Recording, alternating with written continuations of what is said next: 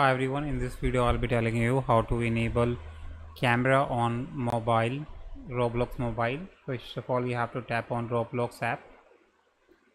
Three dot over here at the bottom, can you see? Three dot and just scroll down and choose settings. And now guys go to in privacy, choose privacy option scroll down. Here you will see this camera input over here. Can you see it? So second option in view you can see that use camera to animate chat with your voice or chat, chat with your movement. So you have to guys tap on this toggle button to enable it.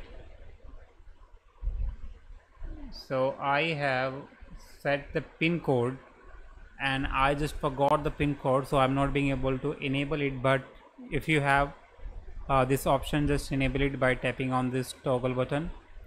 So yeah that's it guys. That's how you can do it. Hope you like it. Subscribe for more videos. That's how you can enable the mic. Sorry the camera.